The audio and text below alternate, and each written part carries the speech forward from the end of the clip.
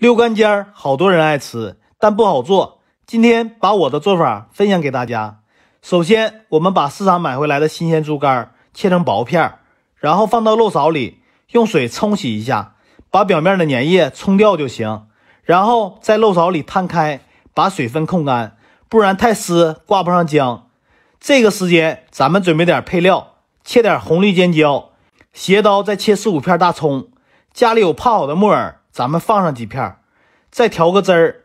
小半碗水里加两勺酱油，一勺米醋，一勺老抽调色，咸盐、味精、胡椒粉，再来点料酒去腥，少来一点白糖提鲜。最后加土豆淀粉，搅匀备用。这个时候，咱们把控好水的猪肝加一勺土豆淀粉，再来点料酒，用右手抓匀上浆，抓到这种起粘性了就行。然后咱们把油烧到四成热。下入猪肝，用筷子搅散，烫二十秒，九成熟，捞出来控油。另起锅，放几个干辣椒段，小火炒到棕红色，放入姜片、蒜片爆香，倒入之前准备好的配料，大火炒十五秒，倒入猪肝，再翻炒五秒，再把料汁搅匀，往里一倒，大火炒到汤汁粘稠，猪肝全部包裹上汤汁就可以出锅了。学会了，麻烦您给个双击。感谢支持。